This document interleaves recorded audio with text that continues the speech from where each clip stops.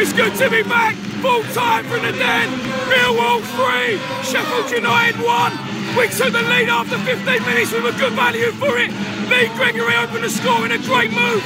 A great football from Morison and Gregory did the rest. Sheffield United equalised.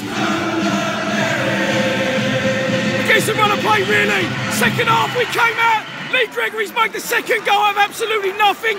His work ethic, he's chased down the central defender, he's nicked the ball off on the halfway line, and he's slotted Mahlon Romeo, who was absolutely superb. And it was capped out by a Jake Cooper header for 3-1, and we are rocking all over the world. We're back.